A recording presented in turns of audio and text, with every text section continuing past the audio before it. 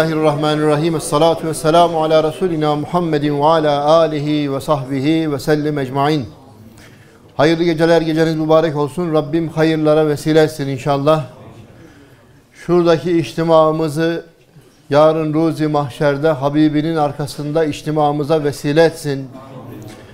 Rıza ilahi için bir araya gelişimizi inşallah yarın Cemalullah'ın etrafında inşallah bir ara bir araya gelişimize vesile etsin. Zaten şu beraberlikler inşallah onların anahtarıdır, vesilesidir.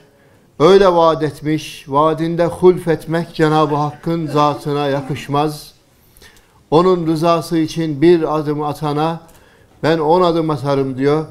Yürüyerek gelene koşarak giderim.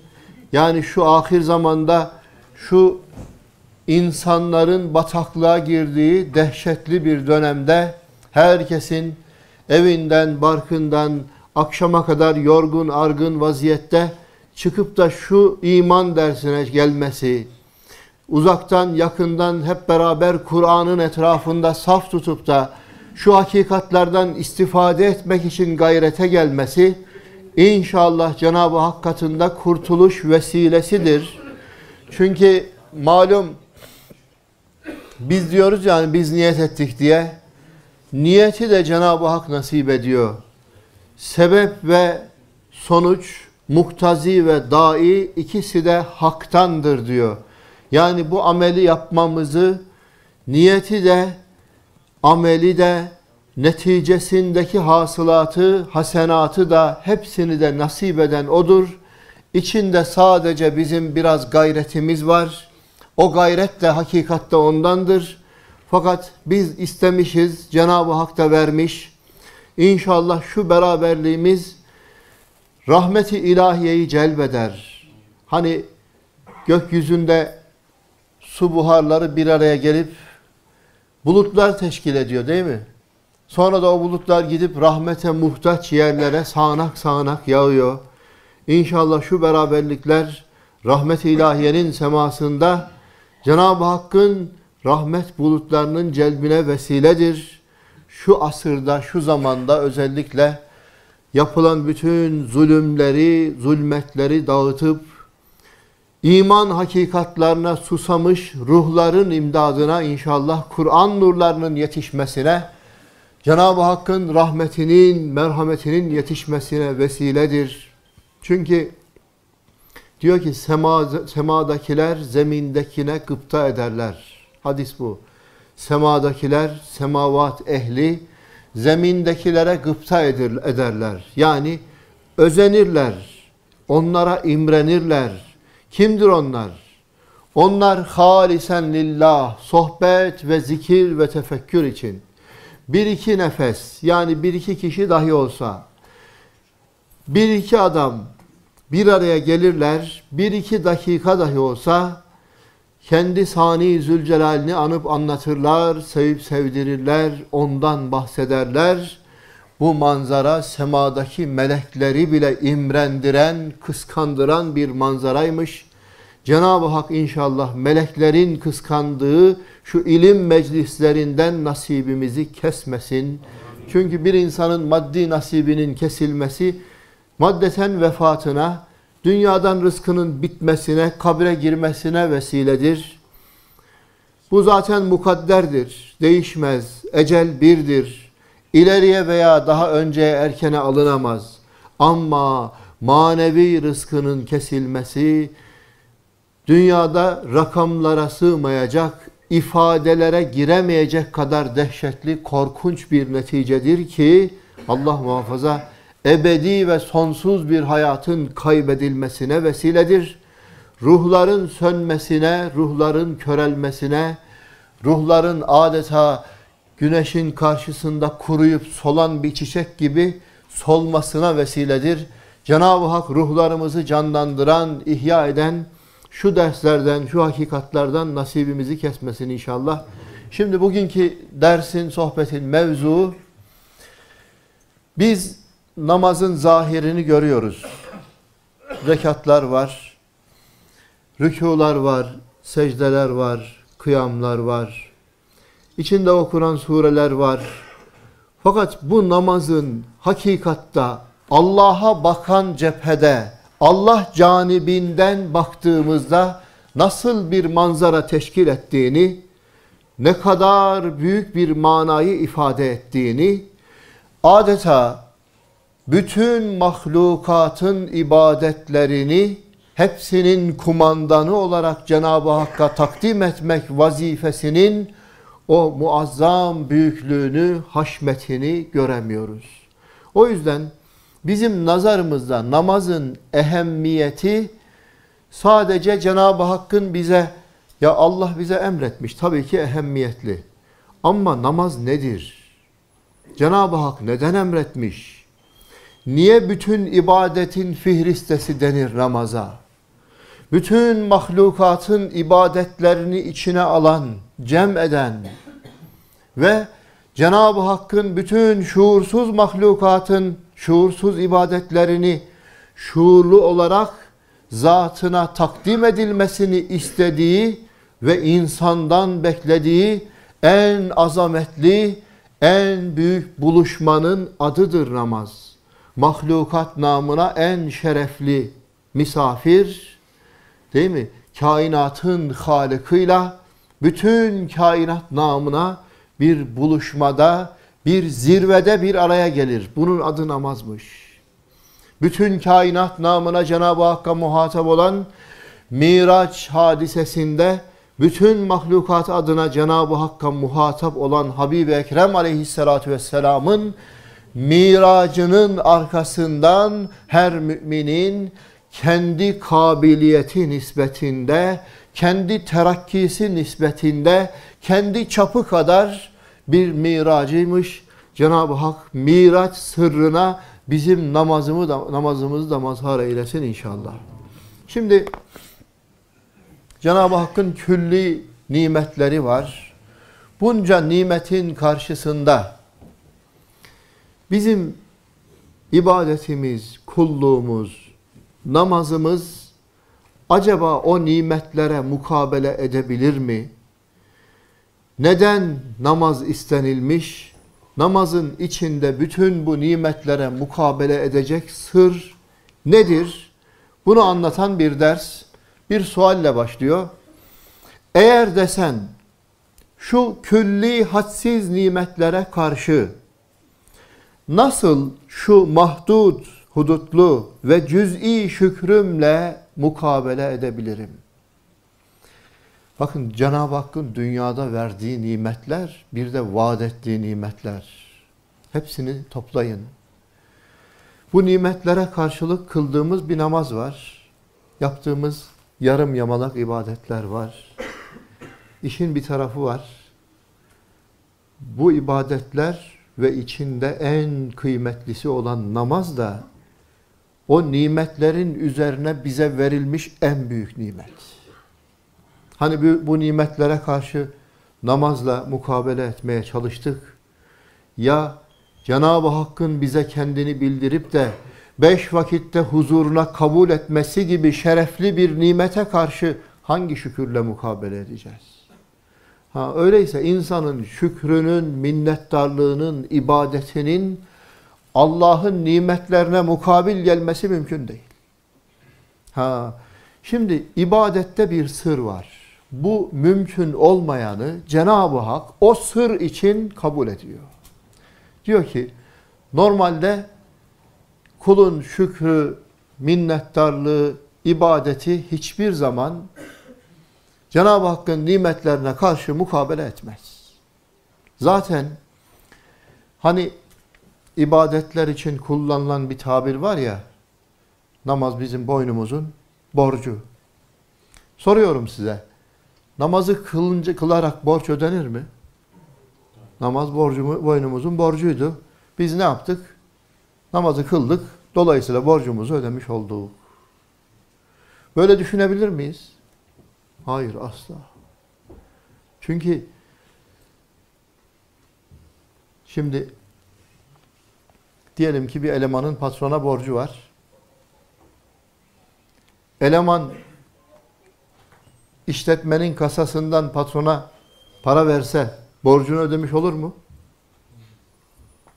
neyle borcunu ödeyecek ki? Padişaha ait olanla padişaha borcunuzu ödeyemezsiniz. Patrona ait olanla patrona borcunuzu ödeyemezsiniz. Şimdi bize ait bir şey yok ki. Cenab-ı Hak nasip etmiş bu namazı.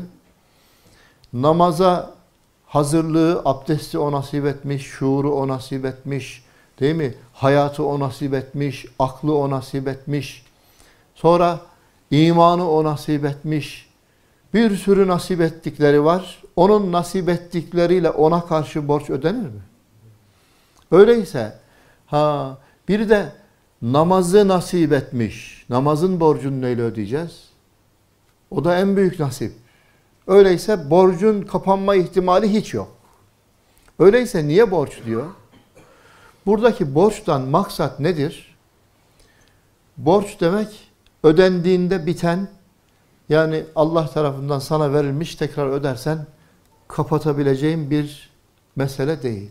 Buradaki borç manası yani fıtrat vazifesi demek. Borç manası. Mesela şöyle düşünün. Saati biz aldık, para verdik, oraya taktık. Şimdi bunca masraf ettik, baş köşeye de yerleştirdik onu. Saatin borcu nedir? Bize vakitleri bildirmektir. Bize vakitleri bildirdiği için de herhangi bir mükafatı hak eder mi? Etmez. Zaten vazifesi o. Vazife-i fıtrat deniyor buna. Birisi dese ki ya bizim evde bir saat var. Zamanları hiç şaşırmıyor, hep gösteriyor dese güleriz ya. Ya bizim evde bir klima var, hem ısıtıyor hem soğutuyor. Herkes güler.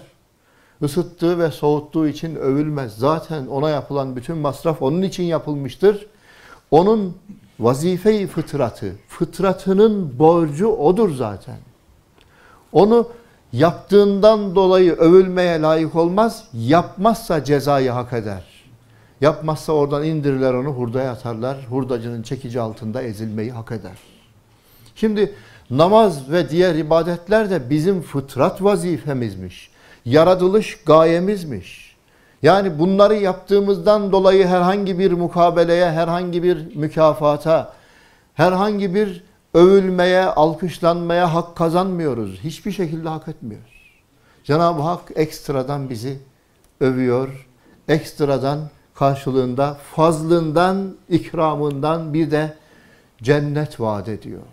Yoksa ha, asla cennet kulun ameliyle kazanabileceği bir mükafat değildir. Peygamberimiz aleyhissalatü vesselam diyor ki hiçbir kul kendi ameliyle cenneti kazanamaz. Siz de mi ya Resulallah dedikleri zaman evet ben de diyor. Artık bizi listeye bile koymaya gerek yok. Ama burada bir sır var. Şimdi müminin niyeti amelinden hayırlıdır. Zaten Cenab-ı Hak katında niyetlerimiz ve gayretlerimiz yazılıyor. Amelleri bize nasip eden de nedir? Muvaffak eden de odur. Şimdi bir niyetle birden bizim amellerimiz, hususan namazımız öyle bir yüksek makama çıkacak. Öyle büyük bir kıymet kazanacak ki o niyet adeta amelin ruhu olup amelimizi canlandıracak. Şimdi bundan sonra bir de bu niyetle aleminize bu manayı alarak namazı öyle düşünün. İnanın içinizden sizi seccadeye doğru sürükleyen, koşturan, adeta bu mananın ufkuna doğru coşturan bir mana, bir hakikat olacak. Cenab-ı Hak şu manayı bize nasip etsin. Namazımızda bizzat yaşamayı da nasip etsin inşallah. Bakın bir yerde çok güzel bir ifade var. Diyor ki amelin diyor ruhu niyettir. Yani içinde niyet olmayan bir amel değil mi? Beş para etmez. Niyetin de diyor o ruhun da ruhu ihlastır. Ha, o niyetin de içinde ne olacak? İhlas olacak. Yani sırf rıza ilahi için. Ha, şimdi şu niyet Cenab-ı Hakk'ın bizden beklediği mana. Kulunu namazda şuurlu bir vaziyette bütün kainat ve mahlukat namına muhatap görmek istiyor. Hani biz kendi ibadetimizi Allah'a takdim eder bir duruşla huzura çıkıyoruz ya. Ya benim ibadetim nerede? Cenab-ı Hakk'ın benden beklediği ibadet.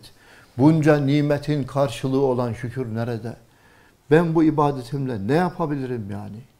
Onca günahın, onca isyanın, onca gafletin sonunda çıkmışım huzura yarım yamalak namazımla. Allah'a karşı nasıl mukabele edebilirim?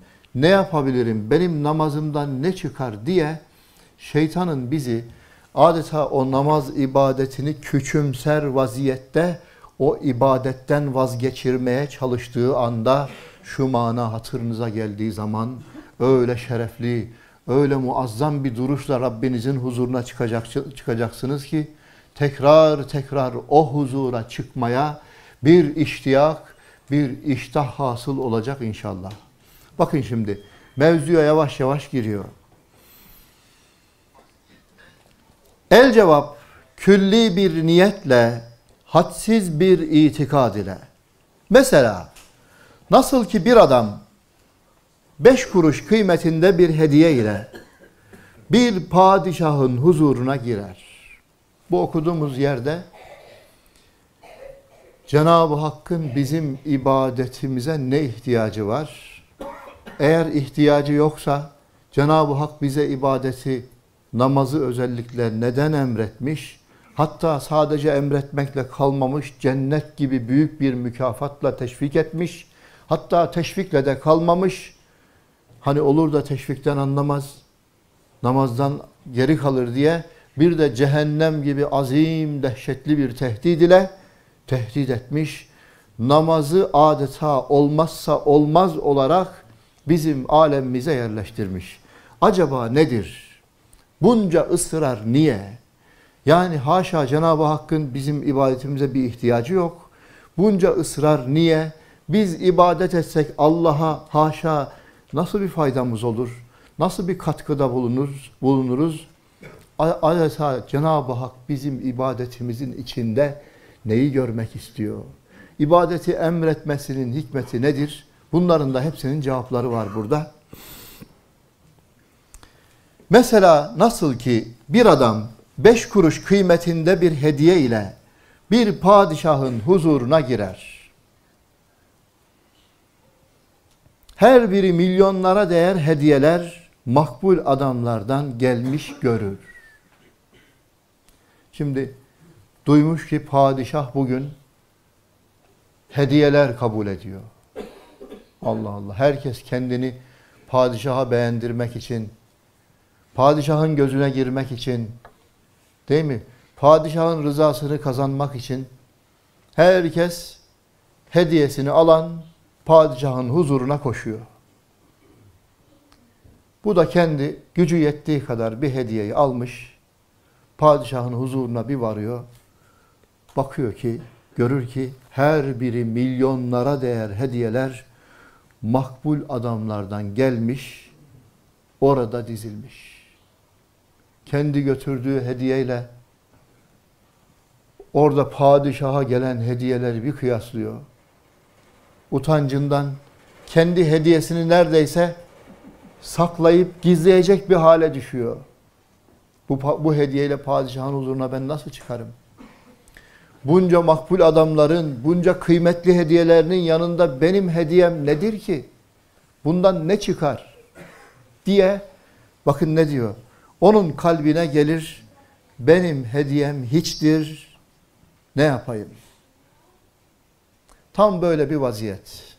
Şimdi Allah aşkına hepimizin iç dünyasında yaşadığımız bir duygudan bahsediyor. Biz Sahabenin kıldığı namazı duyuyoruz. Hazreti Ali Efendimiz'e biliyorsunuz birisi hançer saplamış. O hançeri çıkarırken çekeceği acıyı düşünerek ben namaza durayım. O hançeri namazda çıkarın diyor. Ancak namazda onun acısını hissetmem. Sonra namaza duruyorlar, duruyor, hançeri çıkardı, çıkarıyorlar. Namazdan sonra soruyor çıkardınız mı diye. Şimdi bu hadiseleri duyunca Peygamberimiz Aleyhisselatü Vesselam'ın namazlarını, secdelerini duyunca Sonra değil mi büyük zatların, üstadımızın o abiler tabir ediyorlar ya, tekbir getirdiği zaman o ahşap binanın sarsıldığını duyardık. Bütün bu ibadetler, bu yüksek, makbul zatlardan çok kıymetli, çok ulvi, çok kıymetdar, içi dolu ibadetlerin Cenab-ı Hakk'a takdim edildiğini, sonra bütün mahlukatın ömürleri boyunca yaptıkları ibadetler, yılanlar daima secdede, değil mi? Hayvanların bir kısmı rükuda, bir kısmı kıyamda, değil mi? Ağaçlar kıyamda, bütün mahlukatın ibadetleri, bir de bütün bunların yanında benim eksik, gedik, yarım yamalak ibadetim. İnsanın adeta şevki kırılıyor. Ya ben bu ibadeti yapsam ne olur, yapmasam ne olur? Benim ibadetimden ne çıkar ki? Deyip de ibadetten şeytanın onu vazgeçirmeye teşebbüs ettiği anda şu mana imdadımıza yetişecek.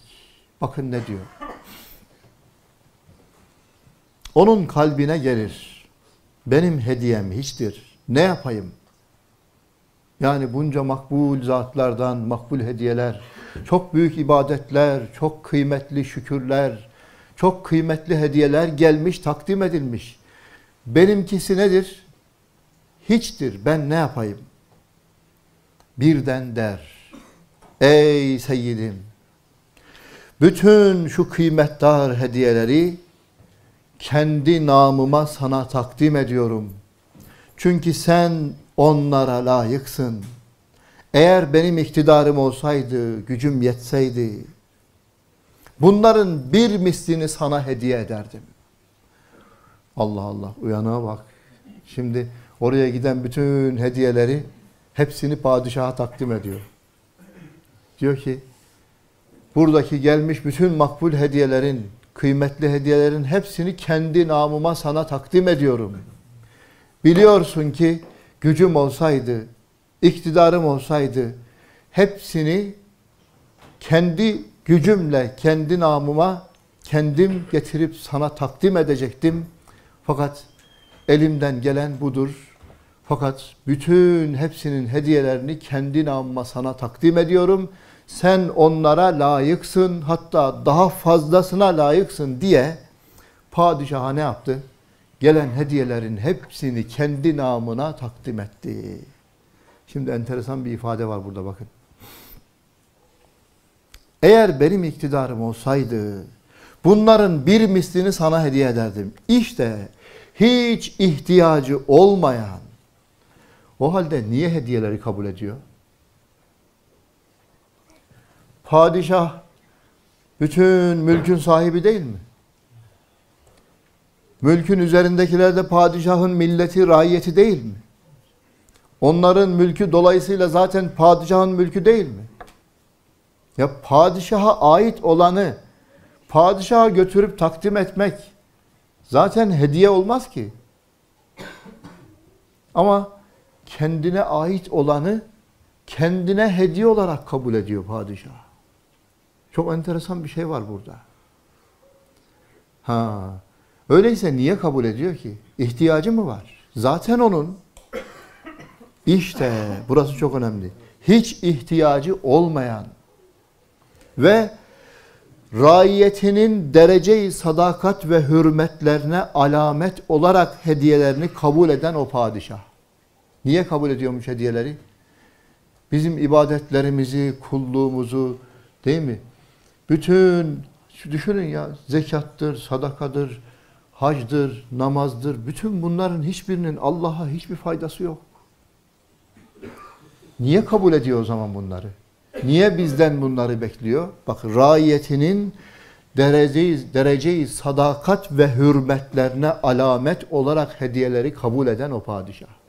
Yani kullarının sadakatini ve hürmetini, yani sultanlarına, padişaha verdikleri değeri ölçmek isteyen ve görmek isteyen o padişah.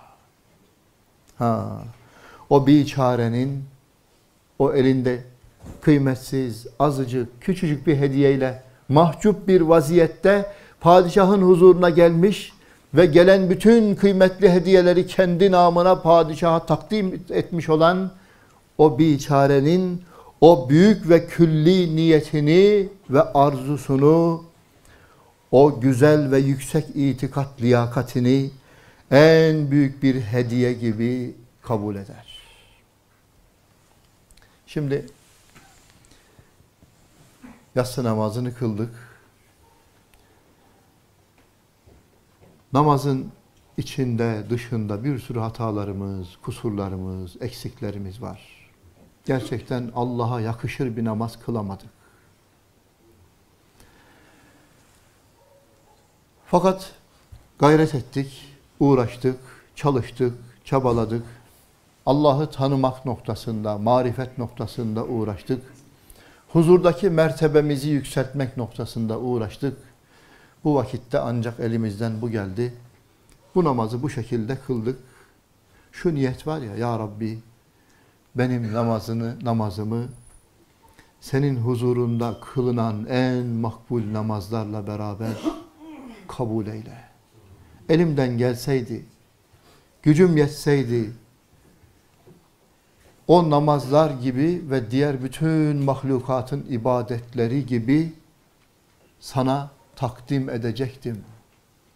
Şimdi şu mana var ya, insanın bir anda o kıymetsiz, ehemmiyetsiz, günah dolu, kusur dolu, eksik, noksan dolu o ibadetini Allah katında niyetle birden hayatlandırdı, canlandırdı, kıymetlendirdi. Nazarı ilahi de öyle yüceltti, öyle bir makama çıkardı ki. Bak bir anda bir niyet ya. Ya Rabbi sana gelmiş bütün hediyeleri kendi namıma sana takdim ediyorum. Yani sana yapılan bütün ibadetleri, bütün mahlukatın ibadetlerini, zikirlerini, tesbihlerini, tekbirlerini hepsini kendi namıma sana takdim ediyorum. Bunu biz nerede söylüyoruz? Namazın neresinde? Et-tahiyyat. Değil mi? Tahiyyatta biz aslında bütün mahlukat namına kendi alemimizin kumandanı olarak Cenab-ı Hakk'a bir tekmil veriyoruz.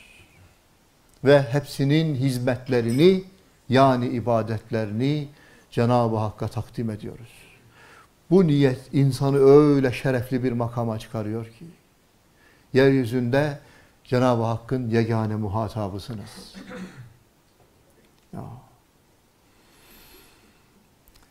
Aciz bir abd aynen öyle de aciz bir kul namazında ettehiyyatü lillah der. Yani bütün mahlukatın hayatlarıyla sana takdim ettikleri hediyeyi, ubudiyetlerini ben kendi namıma, kendi hesabıma umumunu sana takdim ediyorum. Eğer elimden gelseydi onlar kadar tahiyyeler, ibadetler, hediyeler, kulluklar sana takdim edecektim. Hem sen onlara hem daha fazlasına layıksın. İşte şu niyet ve itikat pek geniş bir şükrü küllidir. Nebatatın tohumları ve çekirdekleri onların niyetleridir.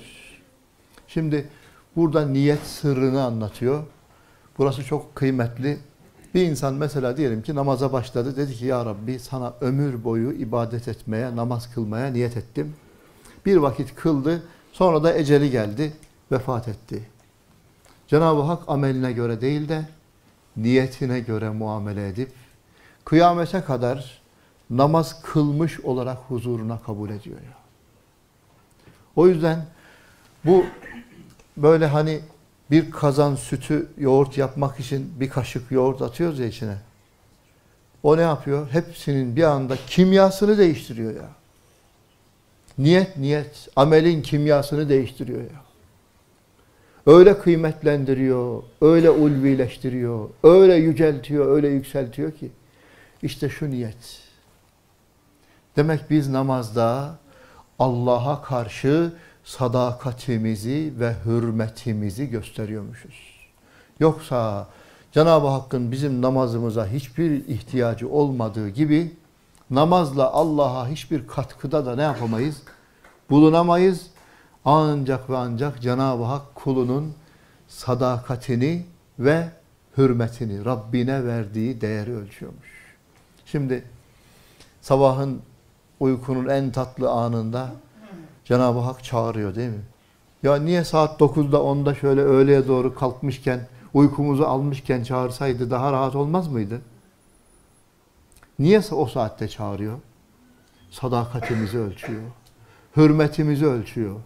Uykunun en tatlı anında çağırırsam, Ya Rabbi benim için her şeyden kıymetlisin. Sen çağırdın mı hepsini elinin, elimin tersiyle iter, huzuruna ok gibi fırlarım diyebilecek bir şuur, bir sadakat, bir hürmet taşıyor mu? Yoksa Ya Rabbi seni çok severim ama uykumu daha çok haşa.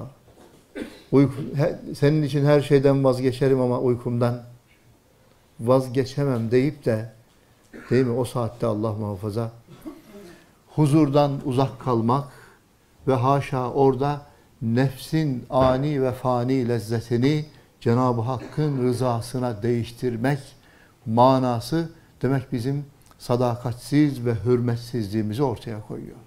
Ha, öğlen mesela işlerin en yoğun anında ya tamam şu işler bitsin de akşam hepsini beraber kılalım. Hayır. Cenab-ı Hak ha, bakın miracın manası kurbiyettir. Allah'a yaklaşmaktır. Peygamberimiz aleyhissalatü vesselamın miracı da Allah'a yaklaşmak için. Bu yaklaşmak maddi bir mesafenin kapanması anlamında değil. Yani mesela diyelim biz birisiyle muhabbet ediyoruz. Onun için bir fedakarlık yapıyoruz. Ona yaklaşıyoruz. Daha çok fedakarlık yapıyoruz. Daha çok yaklaşıyoruz. Dostluğumuz ne yapıyor? Artıyor değil mi? Şimdi Allah'a yaklaşmak manası Allah'la aramızdaki mesafeleri kapatmak. Yani mesela Cenab-ı Hak zekatı emretmiş. Allah'la aramıza giren bir ne var? Mal sevgisi var bizde. Cenab-ı Hak diyor ki aramızdan çıkar. Mesela dedim ki ben Mustafa abi ya şu üzerindeki tişört çok hoşuma gitti. Çok sevdim. Mustafa abi dedi ki ne demek abi ya sana kurban olsun. Aramıza girebilir mi ya? Seninle aramızda lafım olur. Senin için feda ederim. Bu ne demek? Ha, sana hiçbir şeyi, seninle hiçbir şey değişmem. Sana hiçbir şeyi ortak koşmam. Senin için hepsinden vazgeçerim. Cenab-ı Hak da değil mi sabahın en uykunun en tatlı saatinde çağırıyor. Hadi ne yap? Kurban et. Neyi kurban et? Nefsi yatır. Değil mi? Allah için kurban et. Gündüzün en işlerin yoğun olduğu saatte dünyayı ne yap? Bir anda Rabbin için kurban et. Öyle ya kurban ibadeti nedir? En sevdiğiniz değil mi? Sizdeki sevgiyi, muhabbeti en çok üzerinize üzerine celbettiğiniz kıyamadığınızı öyle hani hastadır, sakattır, şudur budur değil ha hayvanların içinden en sevdiğinizi ne yapın? Cenab-ı Hak diyor ki kıyamadığınıza benim için kıyın diyor. Bütün ibadetlerin altında yatan sır buymuş ya. Cenab-ı Hak bizde o sadakati görmek istiyor. Onu hiçbir şeyle değişmediğimizi, onun için değil mi hiçbir şeyi haşa ona ortak koşmadığımızı, onun için her şeyden vazgeçebileceğimizi bizatihi icraatıyla değil mi icraatımızla huzurunda göstermemizi istiyor. Şurada çok güzel bir tabir var. Bunu da okuyup bitireceğim. Mesela kavun kalbinde nüveler suretinde, çekirdekler suretinde bin niyet eder ki Ya Halik'im senin Esma-i Hüsna'nın nakışlarını yerin birçok yerlerinde ilan etmek isterim. Şimdi kavunun her bir çekirdeği toprağa düşse içinden kavun çıkar mı? Çıkar. Fakat dünyadaki bütün kavunların tamamı hepsinin çekirdeğini toprağa düşürsek ertesi sene de bütün ondan çıkan kavunların tamamının da çekirdeklerini toprağa eksek ertesi sene dünyada insanlara ve diğer mahlukata yer kalır mı? Kalmaz ki. Kavun çekirdeklerini düşünün. Bir de incir çekirdeğini düşünün. Sakın düşünmeyin. Düşünseniz içinden çıkamazsınız. İncir ya. Şimdi nasıl olacak o zaman ya? Hepsinin niyetinde yeryüzünü istila edecek bir fıtrat var. Hepsinde böyle bir yaratılış var. Ha, onlar için böyle bir meydan yok. Böyle bir istizat var, böyle bir kabiliyet var ama böyle bir imkan yok. Cenab-ı Hak onların o niyetlerini bizatihi olmuş gibi ne yapıyor? Kabul ediyor. Bak kavun kalbinde nüveler suretinde bin niyet eder ki ya Halık'ım senin Esma-i Hüsna'nın nakışlarını yerin birçok yerinde ilan etmek isterim. Cenab-ı Hak gelecek şeylerin nasıl geleceklerini bildiği için onların niyetlerini bil fiil ibadet gibi kabul eder. Müminin niyeti amelinden hayırlıdır. Şu sırra işaret eder. Şimdi bu çok önemli. O yüzden niyetlerimizi çok büyük tutacağız. Amelimiz ne kadar küçük olursa olsun niyetimiz büyük olacak. Zübeyir abinin bir tabiri var. Elimden gelse küre arzan hazır bir tepeye çıkıp şu Kur'an hakikatlarını tüm dünyaya ilan edeceğim diyor. Şimdi bu niyet e mümkün mü? O zaman ya ama doğru bizim için mümkün değil. Bizim için imkansızlar onun için mümkün ya. Şimdi Zübeyir abi vefat etmiş. Belki kendi sesiyle insanlığa bu hakikatları ulaştıramayabilmiş, ulaştıramamış ama onun sesini, onun sadasını arkasından gelen talebeleri, nesiller, dava arkadaşları dünyanın dört bir yanına ulaştırmış mı? Cenab-ı Hak onun niyetini icraata koymuş ve niyet edip de ulaşamadığı bütün amelleri bizatihi yapmış gibi dergahı izzetinde kabul etmiş ya. Ha, yani işin şu tarafını iyi anlamak lazım. Bizim ibadetimize Cenab-ı Hakk'ın hiçbir ihtiyacı yok. Öyleyse bizdeki sadakati ve hürmeti görmek istiyor. Biz demek ki az ibadette çok sadakat, çok hürmet de gösterebiliriz. Cenab-ı Hak o az ibadetimizi çok ibadetler olarak kabul eder. O çok ibadetlerden hasıl olacak ecri, sevabı da bize nasip eder inşallah. Şimdi burada tesbihatla alakalı da bir bölüm var. Aynı manayı devam ettiriyor. Birkaç cümle onu da söyleyeceğim. Şurayı inanın anlayan bir insan namazın arkasındaki o tesbihatlar var ya, salavatlar, tesbihatlar onları asla terk edemez. Şimdi belki de aylarca, yıllarca zikrederek ulaşacağınız mertebeye kestirmeden bir yol, çok az bir ibadetle çok büyük hasılat kazandıracak bir formül, bir yöntemden bahsediyor. Aynen niyetle.